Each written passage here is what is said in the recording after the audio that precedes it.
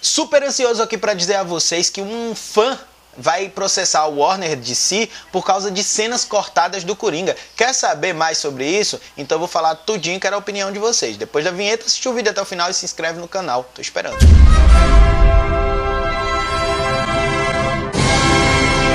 pessoas e não pessoas, coisas e não coisas, geeks e não geeks, nerds e não nerds, recebi nesse exato momento uma notícia um pouco estranha, que eu nunca vi isso acontecer na história do cinema, mas que até a gente entende de certa forma. Quando a gente tá falando aqui de Esquadrão Suicida, uma das coisas que mais saiu foi: tem muito pouco do Coringa do que foi anunciado. É, o próprio Jared Leto, ator que interpreta o Coringa atualmente, falou que deu, tinha cenas suficientes para gravar um filme solo do cara, mas na realidade tem pouco do Coringa no que foi para os cinemas. A gente sabe que Hollywood tá cheio de cortes, mas um cara, um fã, resolveu processar a Warner e DC por conta justamente disso. E eu vou ler um pouquinho aqui da postagem do cara sobre o ato do processo, por que ele vai processar, o que motivou ele a fazer isso. Deixa eu achar só aqui porque eu tô no calor da notícia ainda. Eu não eu não preparei nada, eu vou de cara assim.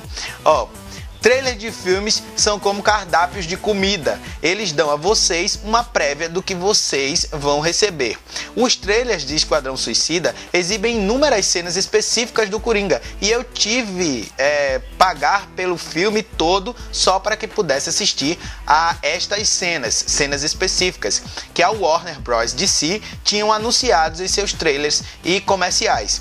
Essas cenas são quando o Coringa bate a cabeça na janela de seu carro, quando o Coringa diz: Deixa eu te mostrar os meus brinquedinhos, quando o Coringa soca o teto do carro, quando o Coringa solta uma bomba com sua cara toda destruída e diz tchau, tchau, Nenhuma dessas cenas estava no filme. Eu dirigi por 480 quilômetros para Londres para assistir a essas cenas específicas que elas tinham, que eles tinham explicado é, e divulgado em seus comerciais de TV.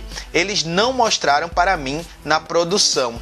Ou seja, cortaram todas essas cenas. Ainda tiveram cenas, por exemplo, quando a Margot Ruby leva um tapão na cara antes de se transformar na Arlequina, quando ainda ela é a, a doutora, né, e tal. Pois é, tiveram muitas cenas cortadas, muitas cenas mesmo, e agora o cara vai processar, cara. Ele vai processar. Ele ainda disse que foi lá no cinema, depois explicou que tinha ido para assistir esse tipo de coisa, não encontrou e se poderia ter o dinheiro de volta e lógico, recebeu uma resposta negativa.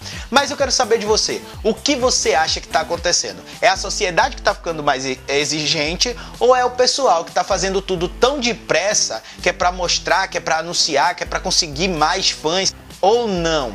O que está acontecendo, o que é que está havendo aí, se é, o cara tem razão ou se ele está levando tudo para o exagero. Eu quero a opinião de vocês. Porque eu acho que às vezes eles estão é, fazendo a propaganda antes do produto ser finalizado e às vezes estão metendo o pé pelas mãos, né? E fazendo. E mais o pessoal também está indo para o cinema com muita expectativa de coisas que não precisavam de tanta expectativa assim. Eu não sei, eu quero saber a opinião de vocês. Eu tenho a minha, estou falando parte dela aqui, mas eu quero ouvir a de vocês. Enquanto isso, vai curtindo, compartilhando, se inscrevendo e até a próxima e tchau. Poxa, processo.